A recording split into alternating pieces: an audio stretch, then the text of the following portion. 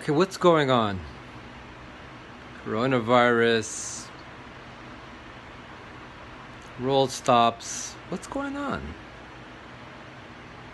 What's going on?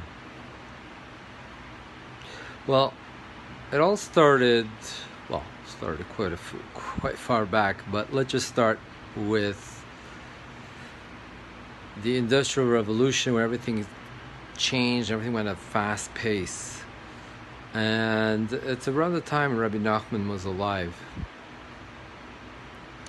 And um, Rabbi Nachman says we got we got to put the brakes on.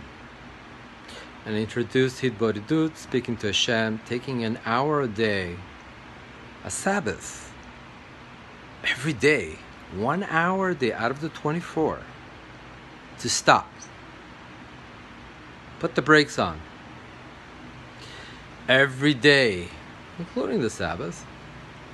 But the Sabbath is the Sabbath, as we always know it.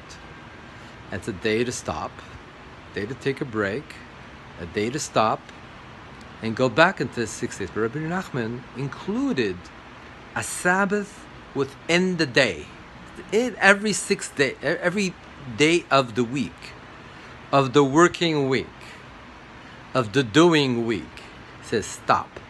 One hour a day. Take a step back and stop. When those people don't stop when people don't stop and the world is moving at such a pace if we don't stop and take a step back what happens? Just like the rest of everybody else around they get burnt out they get sick and they can't they can't recuperate we need to stop now, every day, one hour a day, take a step back and recuperate.